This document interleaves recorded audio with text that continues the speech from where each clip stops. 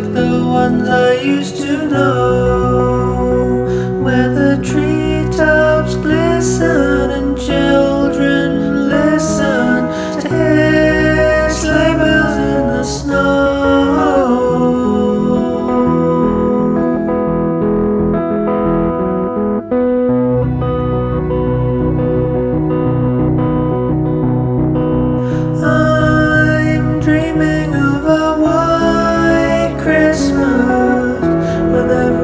Christmas card I wrote.